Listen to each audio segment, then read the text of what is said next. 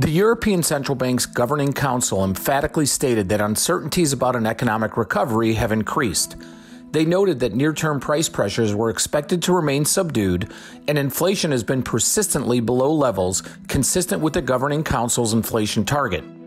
Uncertainty around the ongoing COVID 19 pandemic, Brexit, the U.S. election, and fiscal plans continue to lead to adverse real financial conditions and call for vigilance.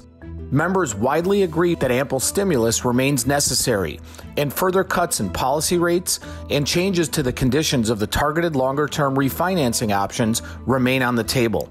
With dropping inflation rates, increased uncertainty, and higher unemployment, the risk of outright deflation has increased, at least in the eyes of many of the ECB members.